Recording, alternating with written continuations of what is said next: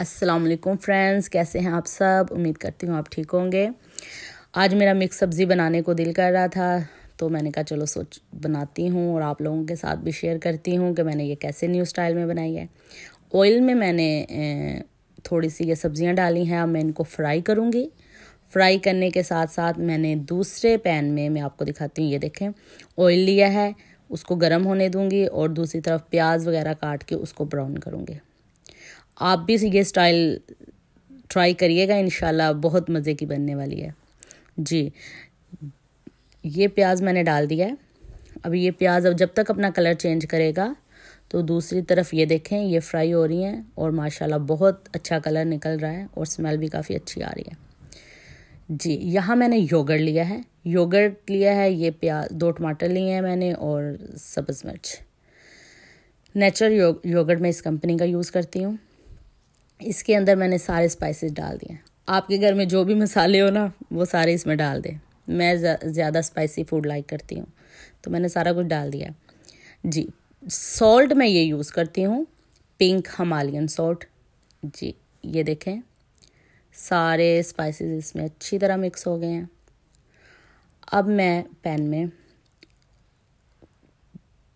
ये देखें, इसका कलर भी काफ़ी अच्छा निकल आया है और ये ऑलमोस्ट हो गई हैं लेकिन थोड़ा सा मैं इसको आ, हीट में रखूँगी और ढक्कन दे के ताकि मज़ीद ये गल जाएँ सब्ज़ियाँ।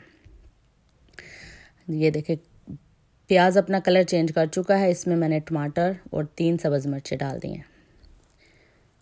दूसरी तरफ़ मैं क्या करूँगी कि जैनब का आने का टाइम है तो उसको भी कुछ खाना है तो उसके लिए मैं कुछ ये देखें पिज़्ज़ा फ्राइज़ ओनियन विंग्स ये सारी चीज़ें गार्लिक ब्रेड ये मैं ओवन में उसके लिए रख दूँगी। जब वो आएगी तो वो ये ऐसी चीज़ें खाना लाइक करती है।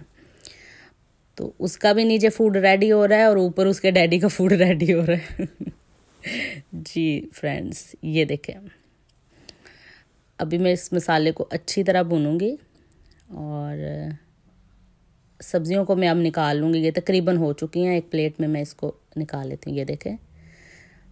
अच्छी तरह गल गई हैं। अभी वो जो मसाला था, उसके अंदर मैंने ये सारी सब्ज़ियाँ डाल दी हैं और कुक कर लिया है। ये देखें।